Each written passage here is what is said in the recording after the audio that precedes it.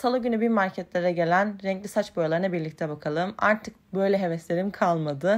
Fakat siz istediğiniz diye denemek istedim. Normalde böyle şeyler saç açılıp ondan sonra uygulanıyor. Ama benim kendi saç rengimde çok koyu bir ton olmadığı için az çok tutar diye düşünüyorum. Bakalım ne olacak. Bunun için saçımı yıpratmak da istemedim açıkçası.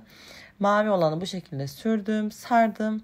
Ardından da pembe olanı yine aynı şekilde diğer tarafa sürdüm. Pembenin yapısı bana biraz daha cıvık gibi geldi. Bir saçlarımın önünü feda ettim. Umarım çok fazla kalan bir şey değildir. Yarı kalıcı diyor gerçi ama. Bunu da aynı şekilde sürdükten sonra sarıp bekliyorum 40 dakika kadar. Daha sonra sadece saçımın önlerini yıkadım, kuruttum ama tam kurumamıştı. Işıkta bu şekilde görünüyor. Mavi olan daha çok yeşil gibi görünüyor. Pembenin de böyle hafif yansımaları var. Aradan zaman geçti. Saçım iyice kuruyup kabardıktan sonra böyle görünmeye başladı. Bu şekilde.